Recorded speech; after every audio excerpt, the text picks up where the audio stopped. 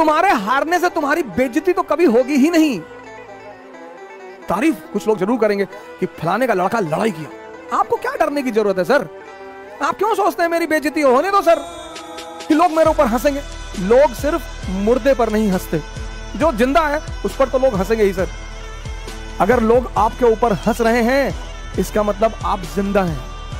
अगर लोग आपको पीठ पीछे गाली दे रहे हैं, इसका मतलब आपने चमकना शुरू कर दिया है। तुम्हारे हारने से तुम्हारी बेजती तो कभी होगी ही नहीं।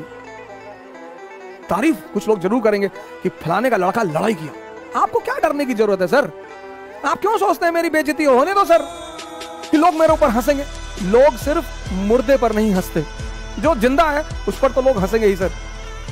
अगर लोग आपके ऊपर हंस रहे हैं, इसका मतलब आप ज़िंदा हैं।